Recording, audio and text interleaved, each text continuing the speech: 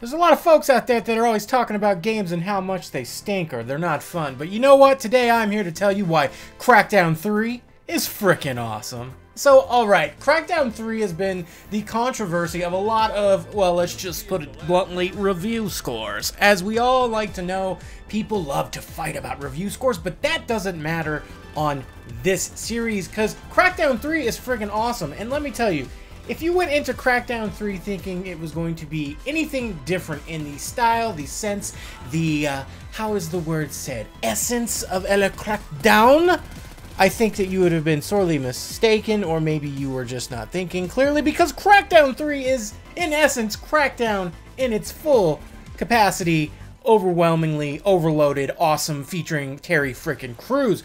That is what Crackdown 3 is. That is what Crackdown 3 has always projected. Okay, there's one little caveat there. Crackdown 3 also projected that you could destroy everything with the cloud. Okay, so that didn't come to fruition, but then a lot of things didn't for Microsoft, like an always online console, all the super duper cloud stuff that's floating in the sky. That just, that just, that didn't happen. So let's just forget that portion. It's disappointing, yes, but Crackdown 3 is awesome because it is unabashedly Crackdown 3. What it does is it puts you in the role of an agent just like in the other games. Lets you loose on a map, a city that just says, hey, there's a bunch of orbs out there and we're gonna get them. We're gonna find this thing. We're gonna get those things and we're gonna level up and we're gonna bash the crap out of things and blow things up. In, uh, well, what is that? In, in, I'd say that's in, uh, that's in Crackdown fashion, isn't it? Absolutely. Abso-friggin-lutely. So look, a lot of open world games kind of work like this. You go over here, you go to an icon, it tells you, hey, there's a mission here. You get that mission, it gives you a cutscene, it kind of builds up like, hey, this is what's happening, this is what's going on for this mission in particular, the one you're playing right now. Crackdown 3 just goes explore, do what you want. This is the core objectives, go, go, go. Oh, you're in an area where you gotta take down machines? Yeah, go for it. Oh, you just got in an area where you gotta take down like a subway terminal thing? Well, just go ahead and do that too, but we're not gonna interrupt you. Just go with the flow. And then, you know, it adds in all that platforming goodness high skyscraping, jumping across like Superman. It's just, it adds all this together with a ton of weapons, a ton of vehicles, although vehicles aren't that important. And it just goes, hi, hi, hello, sir. I'm Crackdown 3. How are you? That is Crackdown and what makes it so awesome. It is just this fun, unabashed game that allows you to get in, play some action, and get out. It's not 20 plus hours, which in my case is sometimes a good thing. So many open world games are just littered with 20 to 30 to 40 to 50 plus hours of gameplay. And while that's great to get the most out of your money, right? We all want to get the most out of our money. Well, first off, this is on Game Pass, so you don't even have to pay full price if you don't want to. But that aside, I look at the overall picture.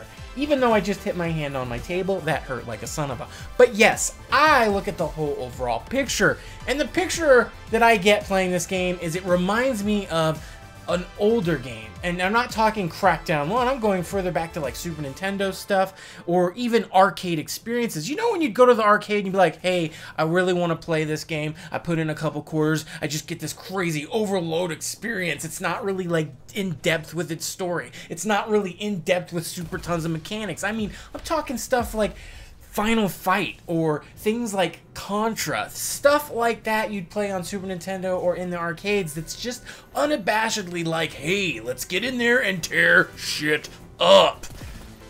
That's why Crackdown 3 is so freaking awesome. It takes this idea, it's very simple, but it can be so addicting to get one more orb, get one more level go up to that platform. It has this sandbox feel that says, hey, go do whatever you want. Now, granted, that is most sandbox games, but here it's a little bit more like, well, we've, we've got like a ton of like Lego things to mess with, and you can, you know, like for example, there's nothing that tells you, hey, you got to use this vehicle to drive on a wall to get up there.